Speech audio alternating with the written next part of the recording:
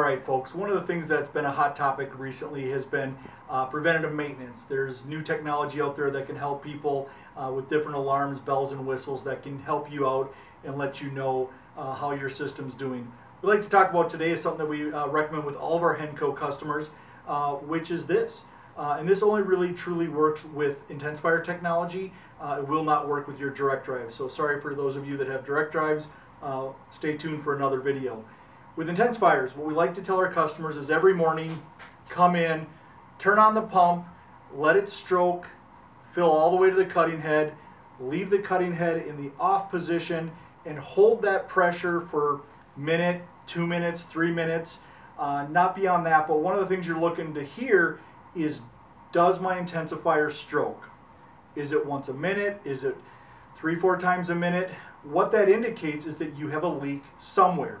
And it's a really great way every day to tell the health of your system. Whether you have a leak at your high pressure seals, at your bleed down valve, somewhere in the tubing, in the on off valve, anytime that that pump strokes, even if it's once every two minutes, that's creating demand somewhere in your system. If you start doing this every single day, it, let's say there's no strokes for a period of time, you come in one day and you got that one stroke, it's a great way to know, hey, I've got something wrong with my system.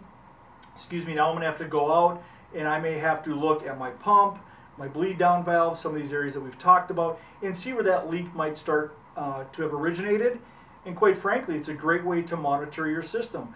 The more you obviously start to hear that pump stroke in that period of time, you know you're getting closer to a maintenance period. But it's a great way, again, to monitor the health of your system. Thanks for tuning in. We hope this tip helps.